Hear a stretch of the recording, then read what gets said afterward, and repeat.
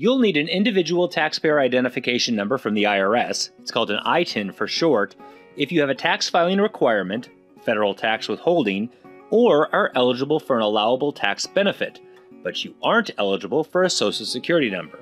Go to irs.gov slash ITIN where you can learn more about it. First, you'll complete a Form W7. You'll mail this to the IRS along with the required identification documents and your federal tax return.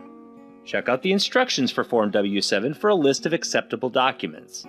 Only send original identification documents or a copy certified by the agency that issued it. You also have other options. Instead of mailing in original documents like your passport, you can work with a certifying acceptance agent. These agents are authorized by the IRS to authenticate your documents. Another option is to make an appointment to get help at an IRS Taxpayer Assistance Center that provides this service. Any ITIN not used on a tax return at least once in three years will expire at the end of the third year. If your ITIN expired and you need to file a tax return, be sure to also submit a completed Form W 7 and required documents to renew your expired ITIN. This helps avoid delays in the processing of your tax return and tax refund. Be sure to check that all other ITINs listed on your tax return haven't expired, like for your spouse or a dependent.